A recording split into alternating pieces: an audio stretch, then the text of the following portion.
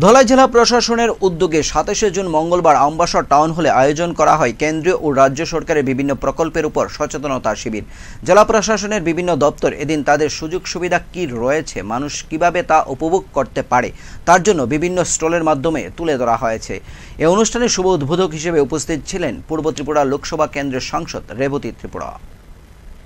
কেন্দ্রীয় রাজ্য সরকারের বিভিন্ন প্রকল্পের উপর মঙ্গলবার আমবাসা টাউন হলে ধলাই জেলা প্রশাসনের উদ্যোগে আয়োজন করা হয় এক সচেতনতা শিবিরের।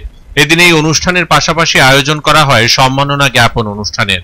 এদিন বেলা বারোটায় প্রদীপ প্রজ্বলনের মধ্য দিয়ে অনুষ্ঠানের শুভ সূচনা করেন পূর্ব ত্রিপুরা লোকসভা কেন্দ্রের সাংসদ রেবতী ত্রিপুরা মহোদয়।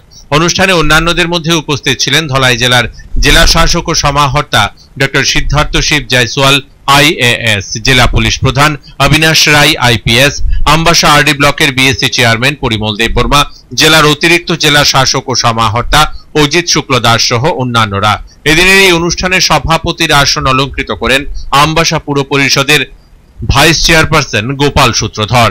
এদিনের এই অনুষ্ঠানের মধ্য দিয়ে চলতি বছরের মাধ্যমিক এবং উচ্চ মাধ্যমিক পরীক্ষায় জেলার মধ্যে যারা সর্বোচ্চ নাম্বার পেয়েছে, তাদের মধ্যে তপশিলি জাতি তপশিলি উপজাতি ও সাধারণ বিভাগে মাধ্যমিক এবং উচ্চ মাধ্যমিকের তিনজন করে মোট আঠারো জন ছাত্রছাত্রীকে সম্মান জানানো হয়।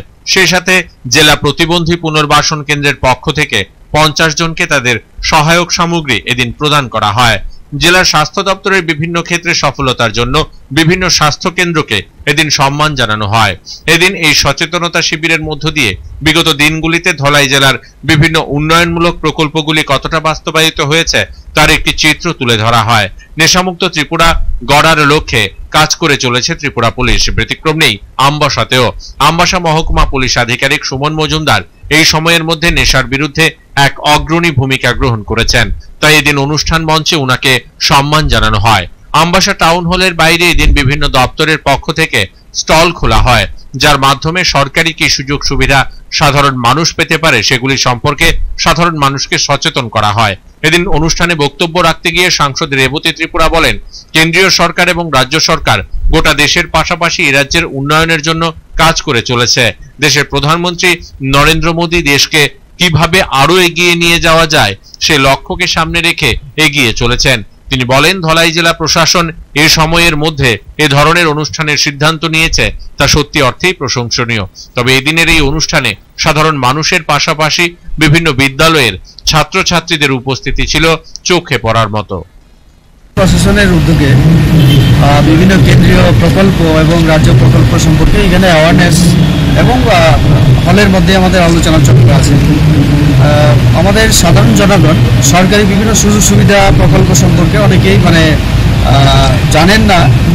তাদেরকে আরও বেশি করে জানানো আরও যাতে সুযোগ সুবিধা নিতে পারেন, সেই লক্ষ্যকে সামনে রেখেই জনগণ যাতে আরও সুবিধা পেতে পারে, তার জন্যই আজকে এখানে আমাদের জেলা প্রশাসনের উদ্যোগে এই ব্যবস্থাপনা।